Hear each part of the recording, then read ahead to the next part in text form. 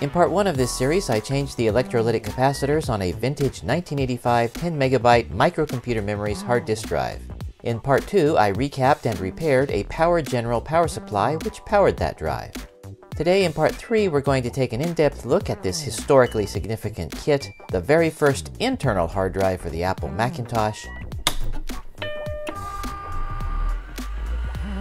the GCC Hyperdrive.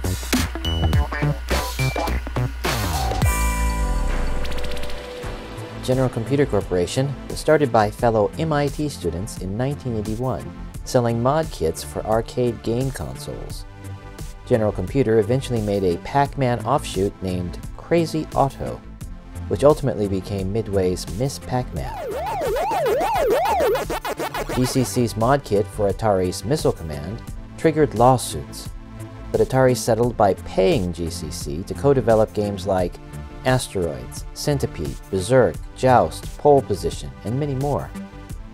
By 1984, though, the arcade game market was in a downward spiral, leading GCC to diversify their business by making peripherals for the newly released Apple Macintosh.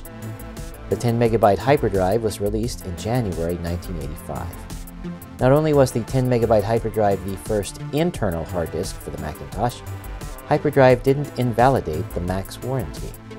Hyperdrive was fully compatible with the Mac's 64K ROMs and was even sold by Apple authorized dealers.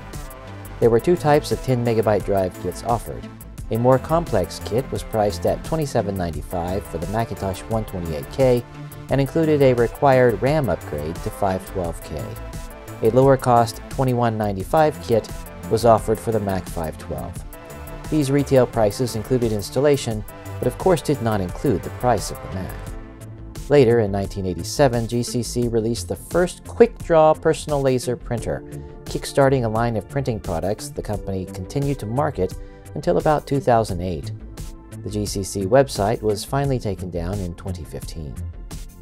Back in 2008, I exchanged emails with Steve Phillips, shown in this photo, who was one of the hyperdrive engineers who started working at GCC in 1985. Steve told me that Hyperdrive began as a Skunkworks project by GCC engineer Brad Parker, who allegedly cobbled together the first 10 megabyte prototype over a long weekend. Also in 2008, I received an email from Steven Szymanski, who joined GCC in 1982 and who currently works for Apple. He has an excellent collection of old GCC photos on his blog that I highly recommend checking out, many of which I've used in this video. I've also posted a link in the text description for you below. Stephen confirmed that engineer Brad Parker worked out the hyperdrive's boot sequence as a hack. The hyperdrive's controller board killy-clipped onto the 68000 CPU, thereby appeasing Apple to continue warranty coverage. Hyperdrive's ROM code took over and allowed direct booting from the hard drive.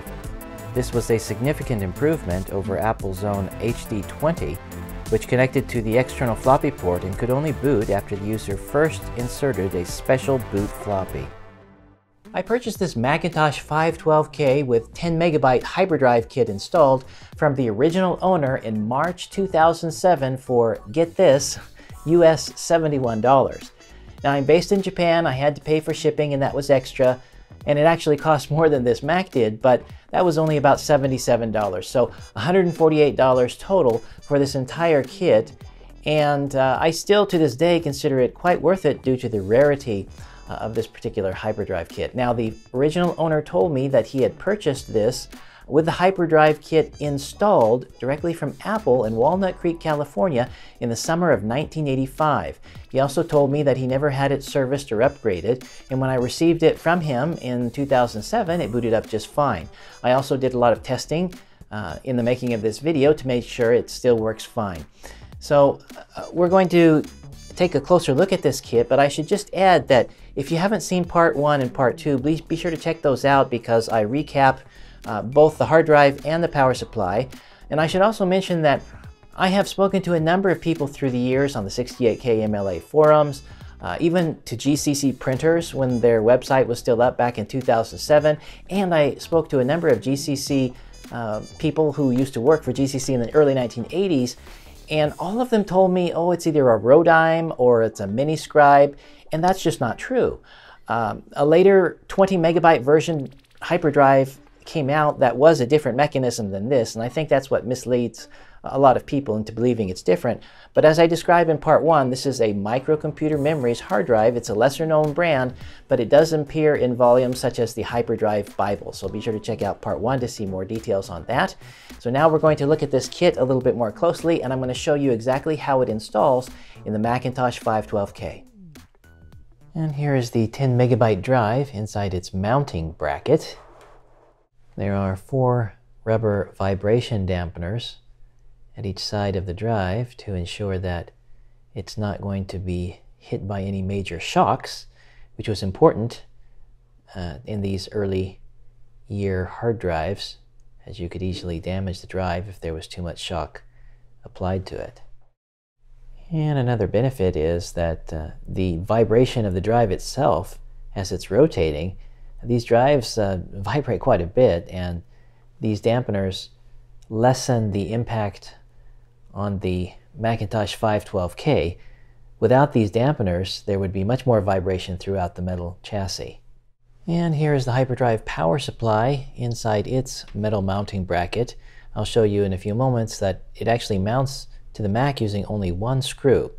And there are four little plastic retainers at each corner that secure the power supply onto this metal frame. And then there are three main connectors. Uh, this one with the standard drive power connector. Uh, this goes to the 10 megabyte hard drive. And this two wire one goes to an internal fan. And then this one supplies 5 volts to the controller board. And here is the hyperdrive controller. We can see that there are two ROM chips here. I haven't tried to take off the stickers, but most likely there's a little window under them where you could uh, erase them with UV light. And then we can see here, here's the 5 volt and ground power connector from the power supply. And then over here is our ST-412 interface. Uh, drives of that era required two cables.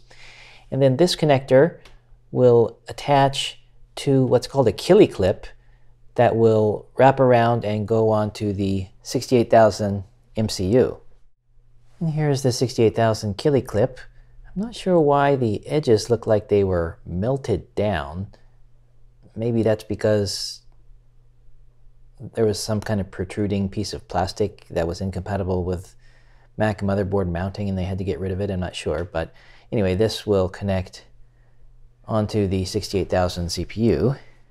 And then this connector will attach right on here like so. I'm not going to connect it right now because it's best to connect the Killy clip first and then attach this last. And here are the two ST412 cables. Uh, these connectors go to the controller board and then these will connect to the back of the hard drive. You'll notice that the cables are turned over uh, and creased actually and they originally had this little clamp attached right here but um, and, and of course it was clamped that way for many many years so I suppose leaving it that way probably would have been fine but I honestly don't think it's good for the wires to keep them clamped down like that uh, it puts undue stress on them so it's really not necessary to have this. It makes installation some easier for novices perhaps but it's really not so necessary so I just uh, remove them and intend to leave it off as I put the hyperdrive back in as I prepare to connect the ST412 cables, I should point out that they are keyed, so you cannot put them in incorrectly, which is important for safety so you don't short out anything. You can see there's a little piece of plastic here inside this hole, and then of course right here, there's no pin at all. And so that makes it easy to put the cables in correctly. Now this connector marked 110 volts AC, which is correct for Japan and the United States, attaches to this connector here. And that connector goes through this choke here into this EMI filter. Here's the LC filter circuit on the back of the EMI filter, by the way. And on the opposite side of it, that's where the high voltage is coming in. We see a metal oxide varistor MOV here to uh, suppress voltage spikes. And then I put this little tubing around it. And this goes up. And the wires go through this little hole here on the analog board to the solder side.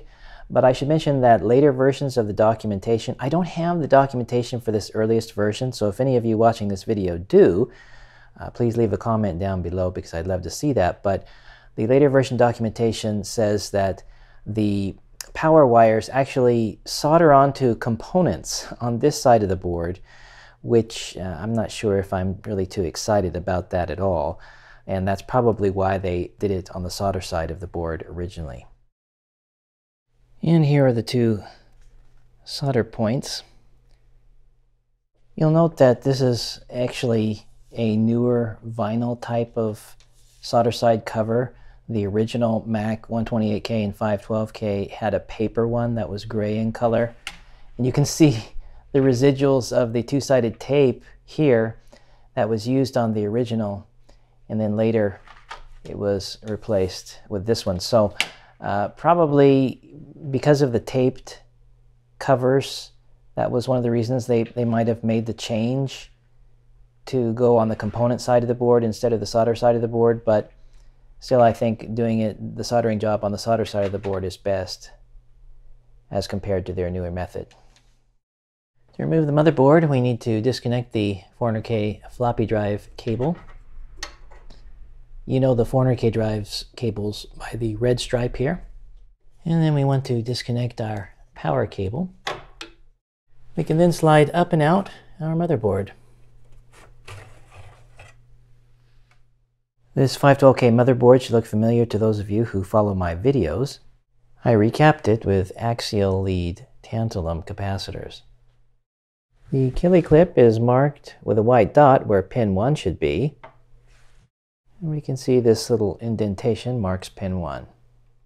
The Hyperdrive installation guide mentions a special tool that will help mount the Killy clip, but since I don't have that, I'm going to have to just do it manually with my own eyes.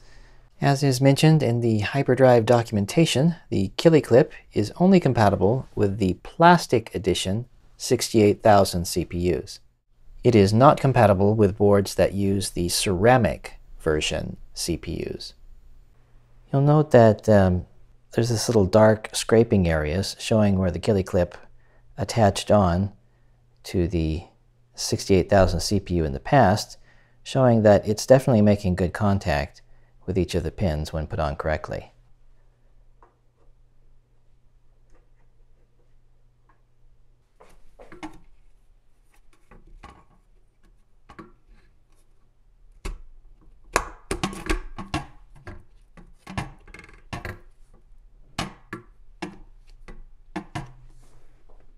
The gold pins of the Killy clip seem to be making contact with the silver pins of the 68000 CPU, but we need to use our meter to be sure. So with the board on top of my green anti-static mat and with myself grounded, I am going to do a continuity check with my meter, which will beep like that whenever two wires are connected together. So I'm going to put a little wire in each one of these. It's tedious to do, but I'm just going to make sure, absolutely sure, that the Killy, Killy clip is on there good. So I'm going to measure from the underside of the board, not measure, but just touch. And so that one pin is done. And then I can go over and test for the next one.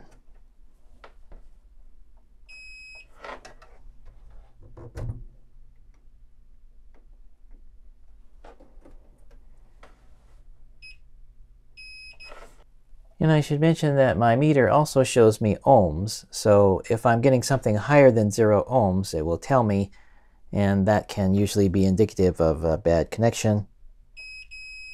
But it says zero ohms on my meter, so it's okay. Now that the continuity check is done, everything is perfect in regards to the Killy clip, it's time to put on the controller board.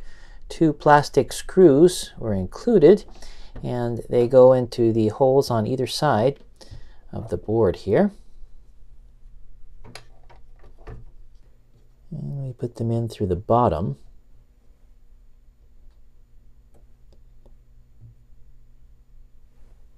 with a flathead screwdriver. And here it is, the one that we put the screw in. Now on this side it's just a spacer with, because there's no hole in the board so actually this can come up if it were actually moved but um, that's normally not a problem because this gravity is going to pull it down. So it's spaced just perfectly right so that the top of the Killy clip will not come in contact with the bottom of the controller board. And of course the overall thickness of this board will just fit into the chassis of the Mac 512. And lastly, we need to secure our connector here.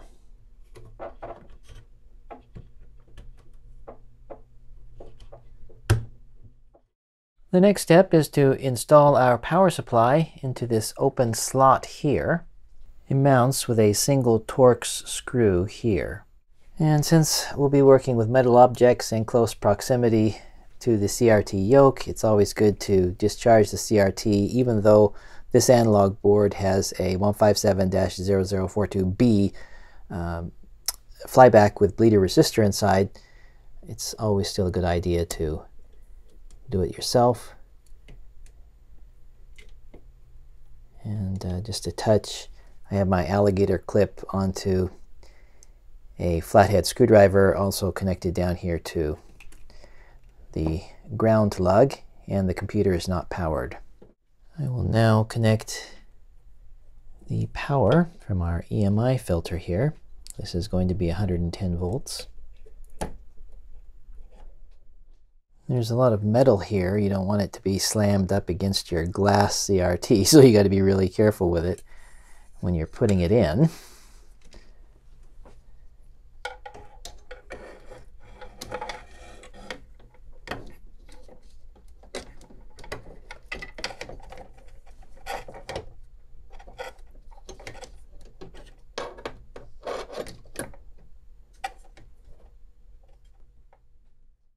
Even though you're going to need a Torx to finally screw him in, it's best to have a magnetic tipped screwdriver. My Torxes are not magnetic. Have a magnetic screwdriver so that you can at least insert him into the hole and maybe screw him a little bit just to hold him in.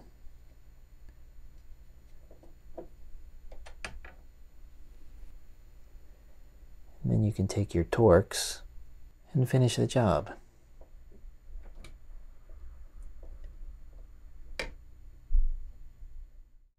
This is the original mounting bracket affixed with two-sided tape to the top of the 400K drive's aluminum sled here. I did not remove that, of course, because there was no need to. It says 3M on it right here. This is for the mounting of this ferrite core choke. And as you can see, I already cut off the original uh, wire tie. So I'm going to need to add a new one here.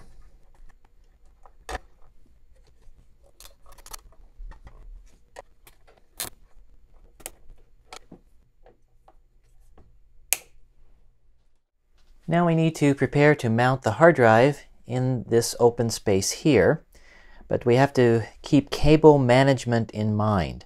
There are three specific cables. The one I have pushed back here will go into the power connector on the hard drive because the hard drive will mount with its connectors here. Then we have our floppy drive cable which will go underneath this mounting bracket and then we have a 5 volt cable that will need to go in this hole here. Now there are three screws, one, two, three, that are used to mount this. These two screws on the bottom will mount on these holes here and here. And then this screw up here will go into this drilled out hole in the 400K drive's frame. So again, this is the bottom part. Will mount vertically. But there's a little hole in here so we can feed our floppy drive cable through, and that way he won't be smashed. And I have my motherboard 5 volt, controller board 5 volt out of the way. And then we place him here, like so. And then this flap goes underneath, just barely underneath the 400K drive bracket and we line up the hole like so. The other point of consideration is this EMI filter also needs to be mounted here rather precariously by only one side and not two. That's I don't have the original manual for this, and so again, if any of you do, I'd love for you to send that to me. But uh, the way it came back in 2007 when I acquired this kit was just like so with the hyperdrive bracket underneath and this mounted here.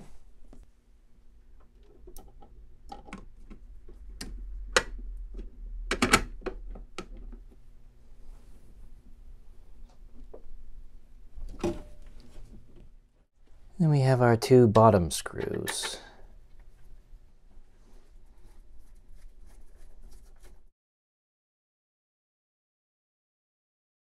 The lip of this frame doesn't quite fit under an 800K drive because this frame was made for the 400K drive sleds.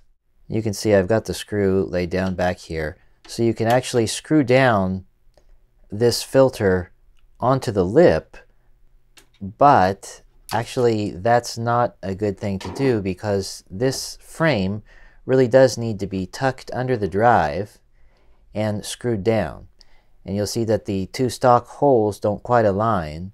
So the only thing you could do would be bend this towards the drive and then you're going to have to bend this little lip down a bit and then you'd have to drill another hole in your 800K drive uh, to make sure it would fit that way. Now I'm not going to do that because I want to pair this with a 400K drive. Now it's time to install our motherboard. We have three points of consideration. First, we need to connect our plus 5 volts and ground power to this connector here, but at the same time feed these two ribbon cables through this hole and we will not be able to slide in the motherboard because of this daughter card that's on here. So we're going to have to use a flathead screwdriver to basically pry in the motherboard.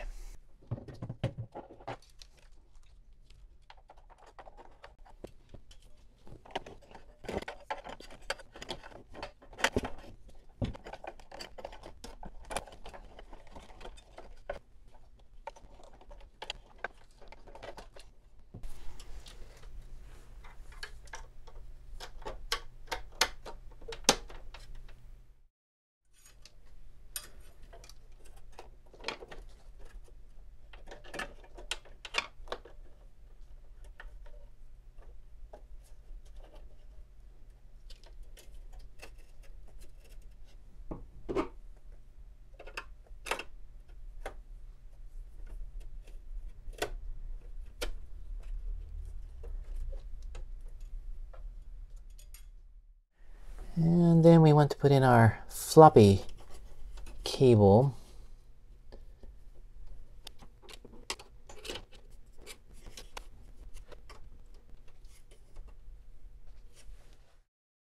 And now for the drive power connector.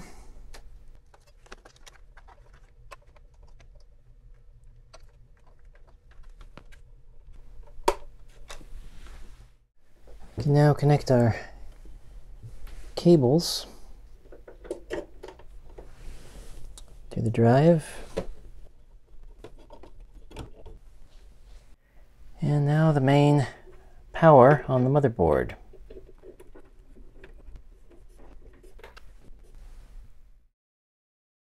And last but not least, we want to mount our ferrite here.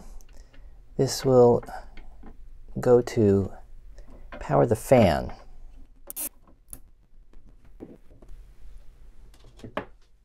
This is the back of the 512's case. An internal hyperdrive cooling fan was placed just on the opposite side of these air vents. Quite important because in the early days, the 128K and the 512K did not have a fan and they were cooled completely by convection. And that's why we have all of these air vents here. The heat rises, and so the thinking was that the heat would simply come up and out. And uh, for the most part, that was true, but Without a fan and with the addition of the internal hard drive, it would get quite hot inside, so the fan was quite important.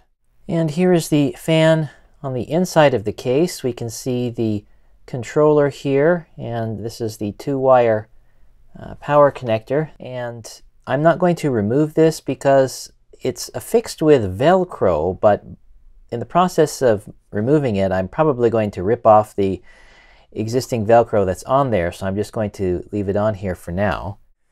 As you can see, the fan is a four-wire fan, and uh, the controller says Bühler, a German word, made in Germany. I don't have any details on this kit. No doubt there's a part number if I were to remove the fan, but uh, if any of you have a data sheet on something similar to this, that would be great to look at. You can leave me a comment down below. But I was able to use a brush and clean out all of the dust and the fan is working fine. So um, I should only mention that in later kits, in the installation guide for hyperdrive, it talks about a mounting bracket. So in the later versions, I guess they used an actual bracket to better route air uh, up and out through the vents. And before putting on the back case, it's important to do just an initial test. We're going to call it the smoke test because if I did anything wrong, well, who knows? Smoke could come out. Uh, I just have the mouse in on the back. That way I can shut down the computer once it boots up. So here it goes.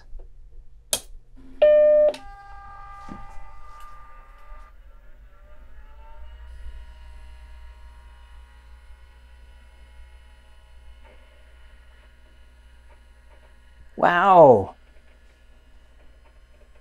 We got it!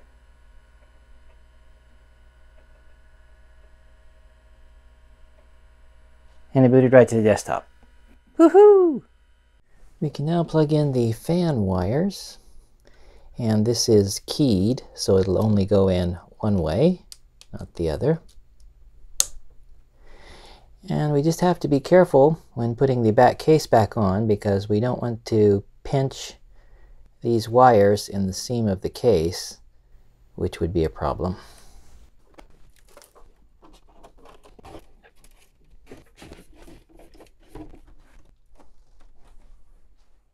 I should mention that when taking off the case and putting it back on, there are Torx T15 screws that you're going to have to deal with. One's under here, the battery door, and you have two down in the handle. You need a fairly long Torx T15 to do that, and I have been using for many, many years this particular one, which is just basically a bent Torx wire. But I can't find this sold anywhere. So what I did recently is I purchased another one. This particular one is found on Amazon. It even says it's made in the USA, has a little protective cap at the end. This is also Torx T15. I put a link to this new one down in the text description below. It provides just enough length for you uh, to get the case off because it'll have to go down deep in the handle. So it's just it's just enough to uh, get the screw in there. And the, the T-shape at the top lets you apply enough force. So you actually have to be more careful with this one than you do these old wire types because you, you can't really apply very much force on these. So I just wanted to mention that to help you out when you're opening your Mac case. Now let's take a look at the software. We'll switch the power on. And uh, Hyperdrive is unique and differentiates itself from other drives of the era like the Apple HD20 by not requiring any floppy-based booting and just automatically boots from the internal hard drive, which we take for granted today, but back in 1985, this was really special. Now, the hyperdrive manual says that the hyperdrive Macintosh is just as easy to use as the regular Macintosh and it lets you do all of the things you can ordinarily do with your computer.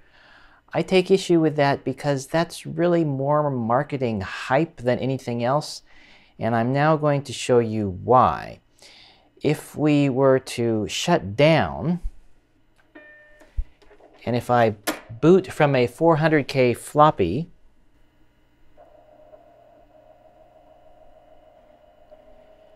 you would expect intuitively that no matter what floppy you put in, the hyperdrive should just mount.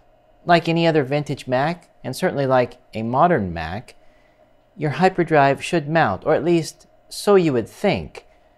But in reality, that's not the case. If you look at the desktop, we only see the 400K drive. The hyperdrive is nowhere to be found. And that's really the caveat with the hyperdrive for every floppy disk that you want to use and boot from, if you want to have your hyperdrive accessible, you will have to use their hyperinstall software to install all of the necessary drivers into the system file. Now, thankfully, I did that on this particular floppy, and so I go up to the Apple menu and choose a command called drawers, and then what that will do is add a new menu item over here called drawers. And then I can choose startup. And it takes a little time here, but it mounted the startup of the hyperdrive. Okay. And we can also use that uh, to drag it to the trash, which will eject startup. And there's another partition on here, which is, which is called a drawer. In, in GCC lingo, it's called a drawer. And uh, it opened that right up as well. But again, you need have the drivers installed for that to work. Now let's go back and do a shutdown. And what's going to happen here is if I do not put in any other disk and just leave the computer as it is, the computer actually doesn't shut down you can see that it had no automatic power down in this era of Macintosh. And so what it does is basically just restarts. And then you have time after the beep. You can turn off power if you like. But if you don't, then it's going to boot just like this. Now what you put on your hyperdrive is largely up to you, but there are certain incompatible systems and other things that you need to be aware of. But basically, I put all of this software on it. So I'm going to go ahead now and show you some of the basic software apps that are used by the hyperdrive. The first and perhaps most important one, once you have installed the hyper install software, is the Manager app. And this is version V2R1. Now the Manager app will allow you to do basic testing, initialization. So if there's a problem with the drive, and in fact, the reason this video took so long for me to come out with is I actually had a number of problems that were not related to my recapping, but just had to do with data integrity. And ultimately, what I had to do was an initialized disk, which is a format, a complete erasure uh, of the disk itself in order to make it work correctly. And it has a built-in help file, so you don't need to access paper manuals. And it goes through and tells you basically what the functions do. You have access to the drawers, and you have in the Create menu over here uh, a variety of commands. You can create a new drawer. And again, drawers are partitions. If we create another drawer, we can call it My drawer, for example. We are then given the option to password protect it, but leaving it blank will not password protect it. I don't want to do that.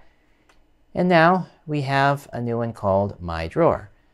And so if we just quit the program here and go back to the desktop, that's the only way to see the contents of the drawers is to get back to the desktop, then it will have the drawer mounted over here and it says 32K in disk. And basically, it dynamically resizes. Remember, this is a 10 megabyte hard drive. And we can see up here it's 2.2 megabytes, 2268K is 2.2 megabytes in the, of software already in it, and about 7.18 megabytes are available. So what's going to happen here is if we were to copy software over to the drawer, it will start the copy process. And even though this is a hard drive, it is by no means speedy in this era of Macintosh. It does take a while, even for some basic files. And if you're coming from a modern computer, you will be frustrated to tears.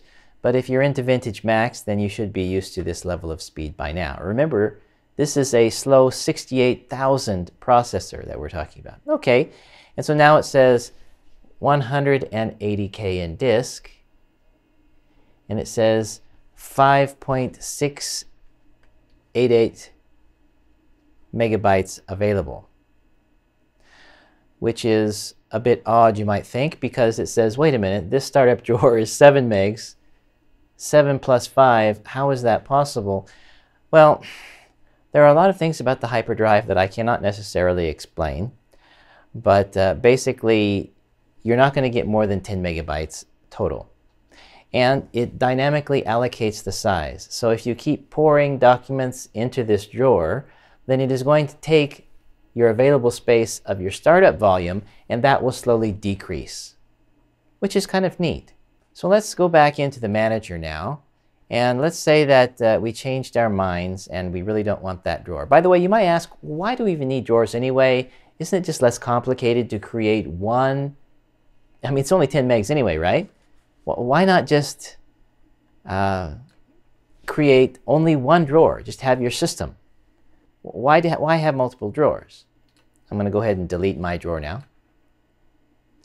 And it says, are you sure? And yes. And the answer is, back in these early days, you could only store so many files on the computer and if you exceeded a certain number of files, it would begin to slow down. And so they suggest, a GCC in the documentation, suggests that you create a startup drawer, which is what we have right now, which is why it's dimmed out up here. And you put only the system files on there. And then you create other drawers, for example, for Mac Write, you create a different drawer for graphics programs and so on. And I've not done that yet, but basically, that's going to ensure that the computer boots up faster if you do that. So we have preferences in the create section here, and it says mount only the startup drawer. This is not talking about booting, this is talking about mounting. You can only boot from the startup drawer. So if that gets damaged, it's not going to boot. And that was part of the problem that I haven't showed you on this video, but I lost some of the original files because they had a problem with the startup drawer. Anyway, uh, this will allow you to start up only with the startup drawer, and that's usually recommended for sheer speed. And then you can allow the deletion of the startup drawer, which is usually not a good idea because once that's gone, then you'll lose booting. And then it says when creating a drawer, allocate directory space for 128, 256, or 512 files. So basically your upper end is only 512 files. Now, in the, in the era of Mac OS 10, you've got hundreds of thousands, if not millions of files, which is totally different concept from back in these days. But basically, you can see how limiting it was. And to be honest, you really didn't need a whole lot of files back in, in these days. So uh, it wasn't quite as limiting as you think. And each file is, is quite small too. But I have left it on the default because the smaller number of files that you choose, uh, the overall performance will be better. And then it says allocate RAM for drawer mounting and disk caching. And then it's saying down here, it's recommended you either put them both on or take them both off, although it's really your choice. Uh, but this again will accelerate things. So yeah, what you've been seeing now is actually the cached and accelerated performance of hyperdrive. But if you can take you can take off the caching because it says it for maximum compatibility. Some software may not be compatible with it. I haven't found a problem so far, but uh, it has that option. And if we look in the HyperDrive Manager About box, it tells us a lot of interesting information about my HyperDrive. The ROM version is 103, driver is 181, boot track 4414, manager release is 700, hard disk size is 10 megabytes, HyperDrive serial number even, it tells you 2987, and the unused disk space is about 5.888 megabytes. And of course you have even more help files. You can go in here and it will tell you basically what I've just told you. So that is the manager program. And uh, really, for the most part, the, the main use of that is to mount or unmount drawers. Although if you do install the HyperDrive software, you get a little desk accessory here to do the same thing. The next program is called HyperTools. And I actually got this off a newer version of the HyperDrive software. This is version 1.1. And there's a lot of software on Macintosh Garden, actually three versions of the HyperDrive software, but there actually were more released. So if any of you have software versions on floppy that are not already on the Macintosh Garden, it'd be great if you could upload those. Uh, when I first purchased this Macintosh, I did not get any floppies with it. So just, just to let you know. And this version of HyperTools, it's again saying version 1.1 from 1986. Uh, over here, we've got drawer tools. The drawer tools will also let you optimize the drawer. It gives you more of a gra graphical representation. Back in the early 1980s, people really didn't visualize files as digital files. They preferred filing cabinet type of paper, uh, skeuomorphism, I guess it's called. And uh, it helps people to visualize how much space was used and how much space was free. And it's saying the combined total space used is 3.8 megabytes. There's also an interesting, uh, we're talking about skeuomorphism, parking, uh, park heads. uh, yeah, okay. And uh, this is if you're going to uh, tote your Mac around. You know, I this is early days, folks. So back in these days, the drives were still quite new. So they didn't have head parking that was automatic. And so you had it done through software. You manually had to go in and park the heads, which means it's going to put them in a place where if you jolt the drive, it's not going to have the head slam against any data and technically ruin uh, the data on the disk. And so now it's saying, okay, now that the heads are parked, you would actually not shut down anything. You would just flip off the power here, and then you could take your Mac with you. But we're not going to do that. We're going to click Unpark. And that's the two commands here. Versions gives you a lot of data about the Mac. This is telling me that the ROMs I have in here are 64K. They're B-type ROMs. And the system file is 3.3 and I have 512K of RAM in the computer. And then it's telling you more about the HyperDrive system software, the boot track version, drawers version, hard disk driver. HyperDrive ROM version is 1.03, so you can see I have a very, very early version. And I'm not sure what the newer version ROMs on the HyperDrive controller will afford me, or even if they, even if you have, for example, newer ROM code that I could burn into my existing ROM chips, would that new ROM code be compatible with the early revision board that I have? I don't know.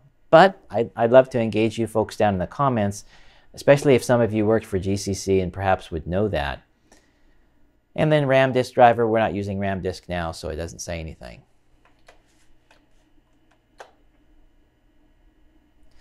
And then we have the preferences set for hyperdrive, and it even tells you the version number of the cache. Trap dispatcher, you know, something programmers would know. These very early days, 1.00, 1.02. And then it even gives you serial port information.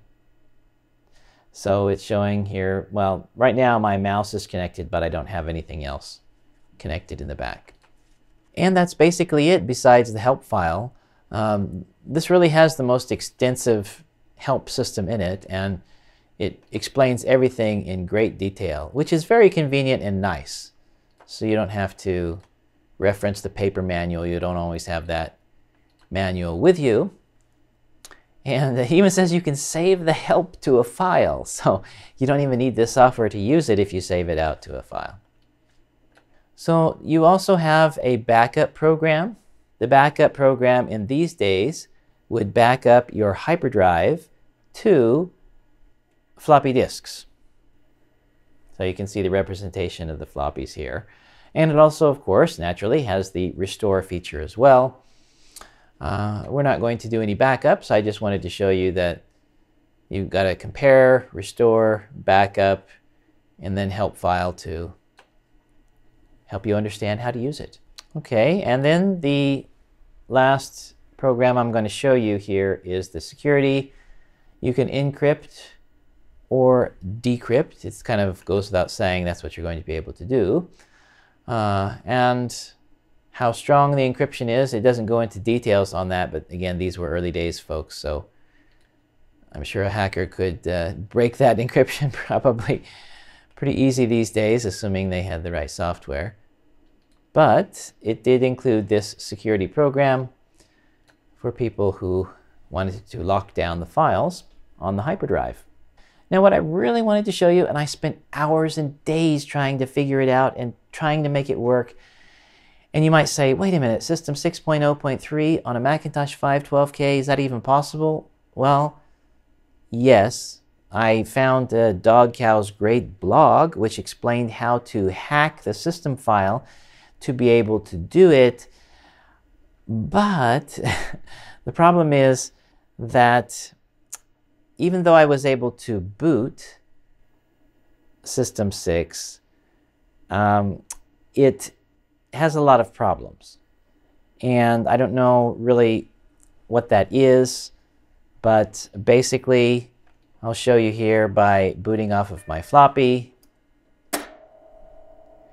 I installed the System and Finder, System 6.0.3, and uh, Finder 6.1, I believe, on the a dedicated drawer in the hyperdrive. And so right, what I'm going to do now is this floppy will allow me to access that drawer. So I go to drawers, and then I can choose system 6.0.3. And in these early days, uh, if you clicked on any app that was on a particular floppy disk, or in this case, a hard drive partition, Normally what would happen is when you launch the app, the system and finder, which are contained in your system folder here, they would become the dominant system and finder. So I load an app here. Theoretically, it should allow System 6 to take over. Load an app here. It should allow earlier, whatever the system and finder is on this floppy disk to take over. But I'm going to double click Mac Write and show you what happens. It looks like it's working, but then it gives a system bomb with ID equals 12. And I believe it's at this point that System 6 was trying to take over, but it couldn't. And yes, by the way, I did the implementation and ResEdit correctly, exactly as the Dog Cow blog said, but still for a situation like this. It just could be a hyperdrive incompatibility or something like that. I'm not exactly sure, but it gives a system bomb. So I have a floppy EMU, and on my floppy EMU, I have system 6 on a 400K floppy. Yes, you can actually make it that small. And what I'm going to do is I'm going to restart with the mouse button held down so I can eject the internal floppy, but boot from my floppy EMU. So now my floppy EMU, the LED is flashing. It's got a happy face. Folks, this is showing you that System 6 really can be booted on a Macintosh 512K. Quite impressive. But unfortunately, this is a 400K disk, I cannot boot off an 800K floppy on this computer. It only has 59K available. It doesn't have enough space to hold the hyperdrive software, so there is no drawers command that will allow me to do anything. I don't have enough space on the disk to run anything else.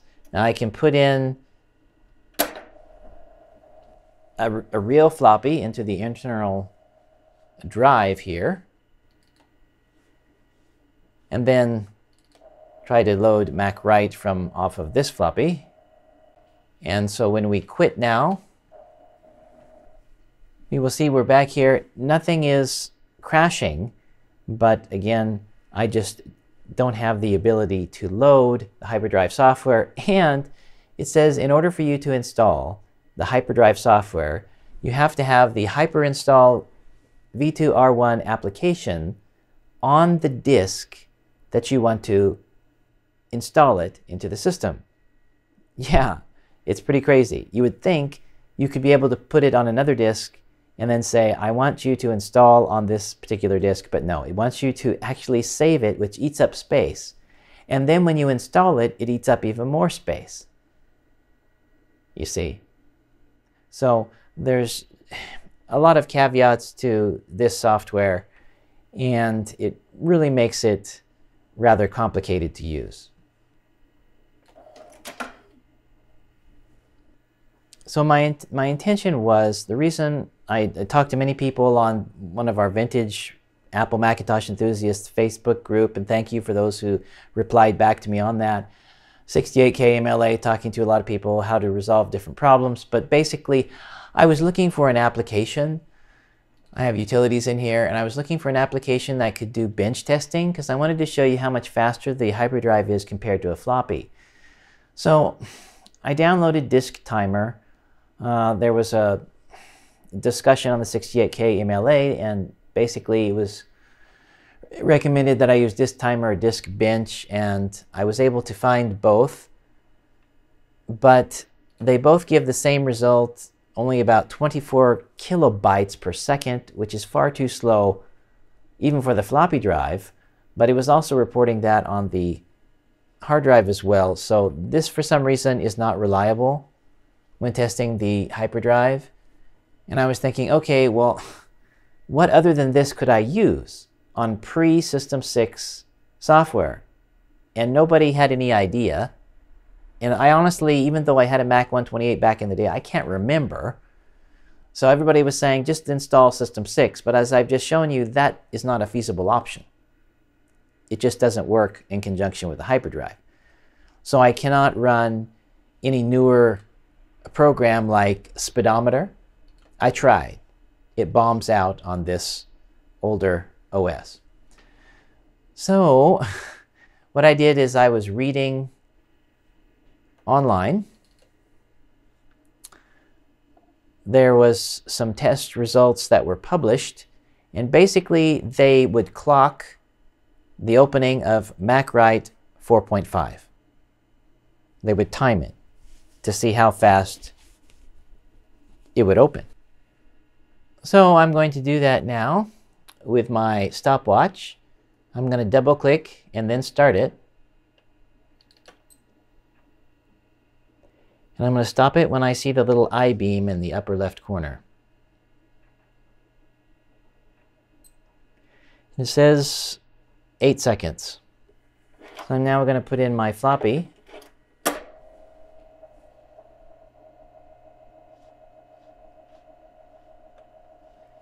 Because this floppy has MacWrite 4.5 on it.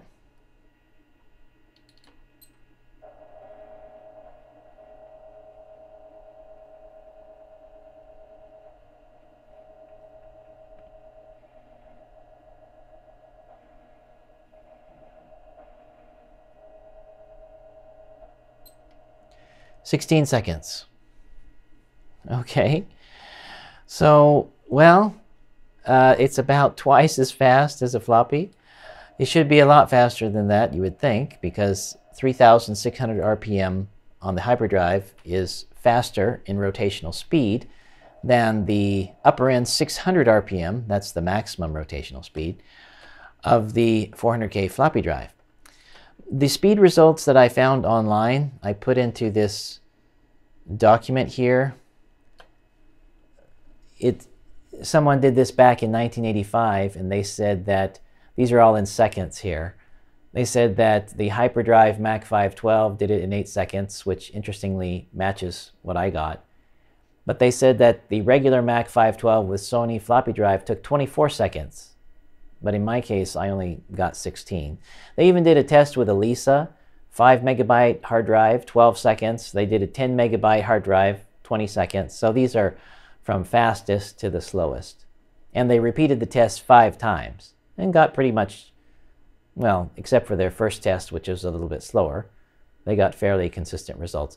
You'll notice that um, even though they did multiple tests, they still got 24 seconds. So I'm not sure why my timing is faster. But anyway, as you can see, the hyperdrive is faster, but it's not substantially faster than the floppy, even though this is a processor direct connection. It's not SCSI. It's not on the IWM chip. It's not on the floppy system. It is directly to the 68000 processor, so it should be significantly faster, but perhaps it's just the slow speed of the hard drive itself. And so, if any of you have a hyperdrive or you have experience with some of the newer versions, I'm not going to show that in this particular video because I don't want to make it too long, but basically there are newer versions than this particular software. I chose this one because it's lighter weight in terms of RAM than, than the two newer versions that are on the Macintosh Garden. But um, uh, basically, if you want to see more or want to know more about the hyperdrive or have me test something, please let me know down in the comments. So I'll close with some missile command since it was GCC who basically started out with missile command to begin with.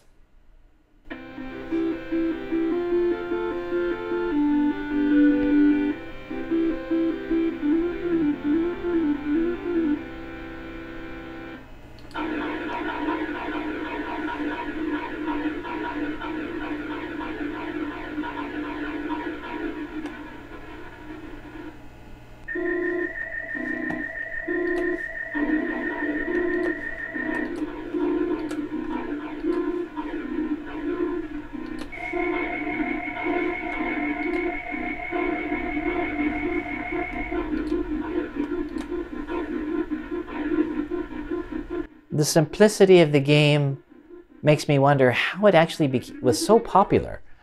I suppose it's different on a Mac than it was in the actual arcade, but uh, this is really how the guys at MIT got their start. And that brings this video series to a close. If you missed one or both of the first two segments, be sure to expand out the text description below because I put links to those videos for you there, as well as links to other hyperdrive related resources that I think you'll find interesting. If you were affiliated with GCC and the Hyperdrive project in the 1980s, I'd certainly love to hear from you down in the comments. And if you simply have a Macintosh 512K with internal hyperdrive, or even a Macintosh Plus with a hyperdrive inside, I'd love to hear your comments and especially see some photos of your drive and its controller. You can post free photos to places like Flickr or another cloud service online. I don't block links in the comments, so feel free to post a link to your photos there. If you'd like to contact me privately, all you have to do is click on my JDW name, which will take you to my channel. And at my channel, there's an About tab, A-B-O-U-T. Click on that, scroll down, and you'll be able to find my email address. I'd now like to take some time to thank three very special people who kindly contributed to this channel by PayPal in the month of March 2021. First, Rami from Copenhagen, Denmark. Next, I'd like to thank Mozam Raja from Cupertino, California. And lastly, I'd like to thank Maro Ashiakaferi Thank you, gentlemen, for your gracious support towards making this channel better. If you like this video, please consider giving it a thumbs up. If you're not already subscribed, please subscribe and then be sure to click the bell notification so that you're alerted to any new videos that I come out with. Thank you for watching, folks, and I wish each of you a great day.